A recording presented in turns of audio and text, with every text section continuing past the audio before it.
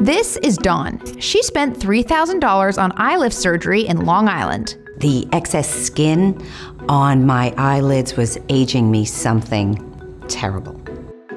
This is Joanne. She spent $6,000 on facial fat transfer to her eyes in New York City. Most people tell me they think I'm somewhere between 45 and 50. Very few people believe that I'm 66. And finally, this is Sierra. She spent $475 on a Botox brow lift also in New York City. It's so important as a woman to just choose how you want to look, and anyone should do whatever they want and whatever makes them feel beautiful. In this video, these ladies will dish on their experiences, and of course, we've brought in an expert. Hi, I'm Dr. Robert Shwarcz, and I'm a board certified oculoplastic surgeon and a verified RealSelf doctor. He'll explain all the different ways we can rejuvenate the eyes.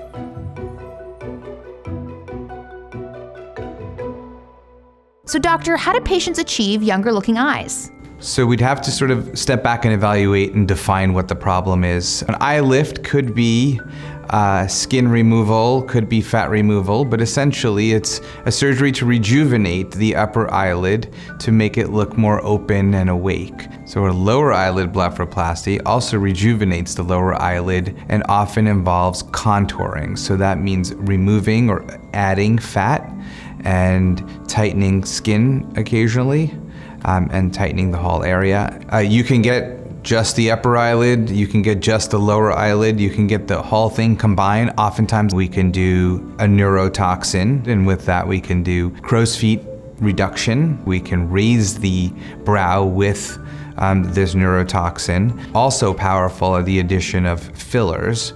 So with fillers we can fill where the mid-face meets the lower eyelid, or even higher up into the tear trough area, the outer part of the lo lower eyelid. And then when it comes to sort of skin rejuvenation, um, there's lasers, different types of lasers, microneedling devices with radio frequency, and then on top of that, even um, chemical peels. All of these can help.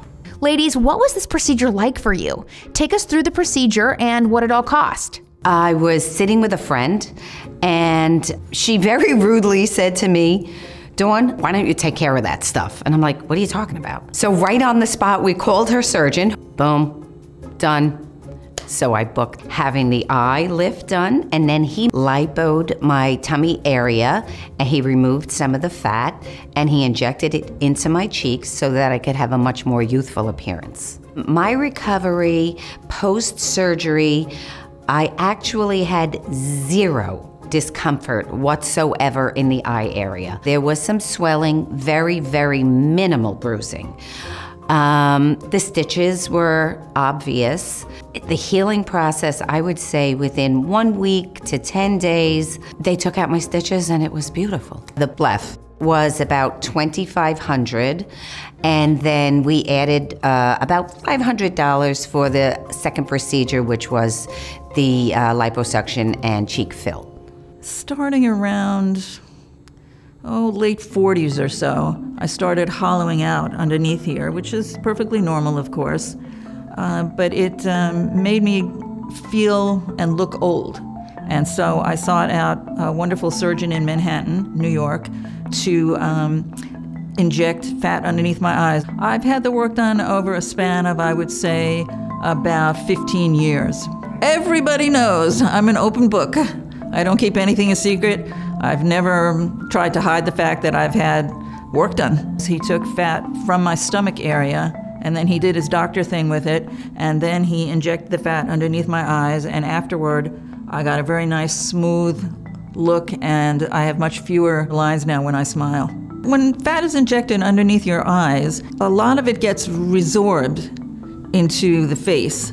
And so uh, you start to hollow out again. And so whenever I found myself starting to hollow out again underneath my eyes, I had him inject some more fat. I usually get about four or five years out of each procedure. I'm, I'm very lucky. Each procedure was like between like 1500 and 1700 I'd say about 6,000 altogether, yes. I wanted a Botox brow lift at 25 because one, I have very thin skin, very dry skin, and I could see very premature wrinkles coming in. I wanted to, to get it done early so I didn't have to deal with the wrinkles when I'm older. the procedure was a little nerve wracking. I've never really had a needle stuck in my face before. The doctor just marked up a couple marks on my face and she went right in and it was super easy. It was a little painful, but nothing I couldn't handle. I definitely noticed a difference right off the bat. I'd say Botox takes a couple days to kick in, so around day five or six, I noticed so much more space um, that was open on my eyelids. $475 definitely is a lot of money. Um, being younger, I feel like paying for Botox is a little more preventative. You don't have to pay for it as often as someone who is a little more mature. Okay, let's ask the expert to shed some light on why eye rejuvenation can vary so much in cost. Generally speaking, um, upper eyelids and lower eyelids, you know, it really depends on what you need. They're they're so different. I never do the same surgery. Um, so if someone needs fat grafting and laser, if we're combining all of it, it, it could be about $14,000 for the upper and the lower surgery. If you're just price shopping, I, you're more likely to get into trouble. Someone who is um, charging very low prices, they're trying to either create a volume based practice or they're just fresh out of training and trying to get cases under their belt. Nothing wrong with it. We were all in that in that scenario. But if you're looking for quality work, we tend to you know, price things at a premium if we're providing quality care. According to RealSelf data, the average upper eyelid surgery costs $4,625. Full face fat transfer is $5,150. Dermal filler is $1,075. Neurotoxins range from $425 to $550 per area. Now for the most important question. Was the money you spent worth it for your results? Was it worth it? Are you kidding me? Look. it was worth three times the money. I feel that my eyes frame my face, my brows, my lashes.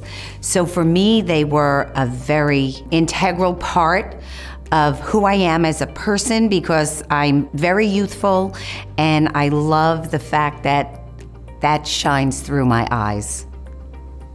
Now. That shines through my eyes now. I'm really happy I had the work done and absolutely feel it was worth every penny I spent. And when my eyes start to hollow out again with advancing age, I will repeat the procedure and I will repeat it for as long as the doctor tells me it's safe to do so. I feel like it went really well. It was definitely an interesting experience. I didn't know what to expect. Uh, it was my first time getting Botox altogether, but it was a really good experience. I think the cost and the pain were both definitely worth it. They were both a price I would pay and I would do it again. Dr. Shwarcz, if someone is interested in getting any of these procedures, what do they need to know? I always ask patients to show me old photos. So they bring their old photographs. That's sort of been my hallmark since I went into practice. And we start to look at what you look like 10, 15, 20 years ago. And patients will usually tell me when they're ready. It's usually when a patient feels they no longer look the way they looked when they felt their best. But this is subjective. There's artistry involved. So I think that you have to agree with the surgeon's concept of why they're doing it um, and not just because they do it. Have you enhanced your eyes?